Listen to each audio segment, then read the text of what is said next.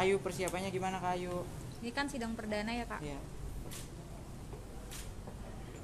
persiapannya ya sebagai warga negara yang baik dipanggil ya harus dihadap ya bang ya sebagai perempuan yang pasti saya harus memperjuangkan hak saya tapi kalau ditanya kronologis sepertinya lebih baik saya nggak usah jawab deh toh nanti saya cerita yang ada saya di perkarain lagi gitu kan ya kita bakal berjuang yang pasti kita sudah siap akan kita hadapi saya akan memperjuangkan hak saya sebagai perempuan Sebelum sidang ada konflik komunikasi dulu sama, sama Mas Nikolas nggak mbak? tidak ada ya Sejauh ini belum ada.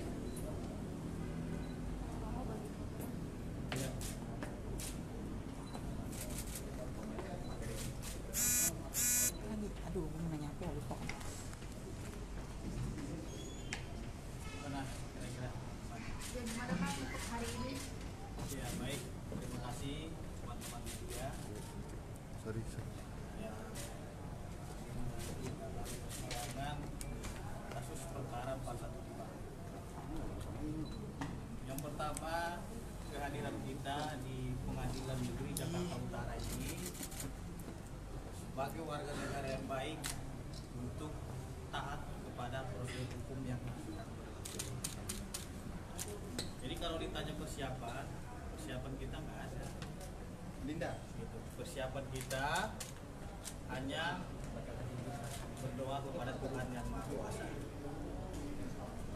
Jadi kalau ditanya tentang problem apa yang dialami oleh Ayu Thalia, saya kira nggak ada nggak ada permasalahan hukum sehingga Ayu Thalia ini dijadikan sebagai terdakwa. Kalau pendapat hukum saya, kenapa seperti itu? Karena yang bersangkutan ini sebagai warga negara baik ingin mencari perlindungan hukum dengan membuat laporan polisi di Polsek Penjaringan Jakarta Utara. Jadi itu adalah hak konstitusional setiap negara. Dengan laporan polisi tersebut, undang-undang juga telah memberikan jaminan dan kepastian hukum terhadap warganya yang membuat laporan ataupun yang menjadi saksi dan atau korban sebagaimana diatur di dalam pasal 10 ayat 1 dan ayat 2 Undang-Undang Nomor 31 Tahun 2014 tentang perlindungan saksi dan korban. Jadi kita melihat di sini bahwasanya ada rangkaian hukum yang semestinya diberikan perlindungan hukum kepada Ayu Thalia yang dibuktikan dengan laporan polisi tadi.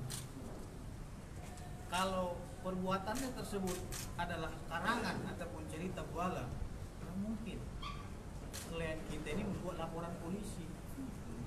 Buat apa dia mencari sensasi? Waktu dia sudah punya pekerjaan yang jelas dan dia sudah hidup dengan tenang dan nyaman. Akan tetapi dengan adanya laporan polisi itu dia hanya ingin meminta perlindungan hukum.